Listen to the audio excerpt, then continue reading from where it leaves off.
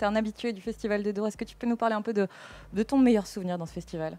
Bon, qui m'a fort marqué, c'est quand ils, se- ils nous ont proposé de faire un plateau euh, Bruxelles arrive avec Caballero et Jean Jass et tout le gratin bruxellois du moment.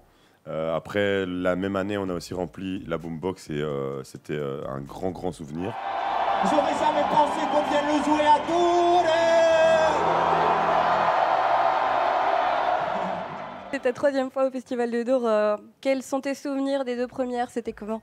Euh, je joue sur la même scène que l'année dernière, donc c'est super. Euh, c'est un sentiment très agréable de, de retrouver un peu les murs. The crowd is always very good, and I think the lineup's always really cool here. Um, so yeah, I'm, I, as I remember it, the crowd are brilliant. Je sais que la première fois que je suis venu, je me suis dit, mais ce festival est incroyable, parce que c'est quand même un des plus gros festivals euh, francophones. Ouais, clairement. Euh, c'est, je sais pas, j'aime trop, la programmation est, est ouf.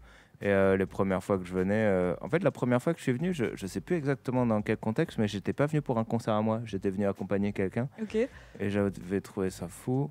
Euh, L'année dernière, il y avait la Coupe du Monde de football Ah oui, je me souviens de ce le jour moment. même, et le match était juste après mon concert.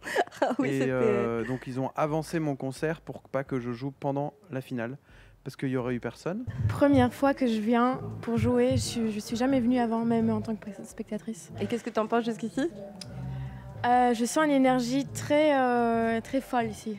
J'imagine que tu as dû entendre parler du Festival de Un Dour petit- quand même. Oui, un petit peu. D'ailleurs, j'ai ma petite sœur qui est là, j'aimerais bien la surveiller un peu. euh.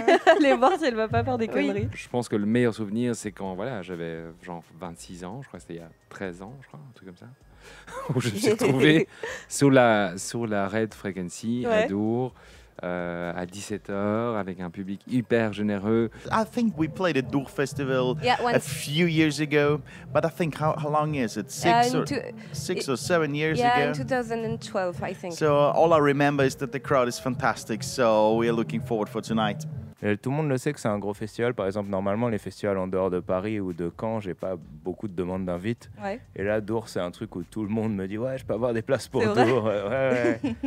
Ah, j'ai un super souvenir de, de ce festival. ouais. when I got the offer and I did my research and I saw that it was like one of the greatest, Mhm. really fun, crazy festivals. Euh, La fois d'avant, c'était euh, plusieurs années avant, et je jouais dans un- une salle toute noire. Ouais. Euh, et c'était super agréable. Il y avait les Salut c'est cool qui étaient venus euh, danser sur, euh, sur, la scène. Et ouais, j'avais kiffé. C'était super impressionnant. Et c'est toujours un peu un challenge de, de jouer en après-midi comme ça, sur des si, gros, des si gros spots, que ça, ça met toujours un coup de pression. Tu as 45 minutes pour convaincre, mais on, était, on est content en fait, on est très content. Et si je voyais dans le futur, je pense que j'aurai un, bon souvenir du dimanche qui va arriver aussi parce qu'on va faire un gros show sur la Last Arena.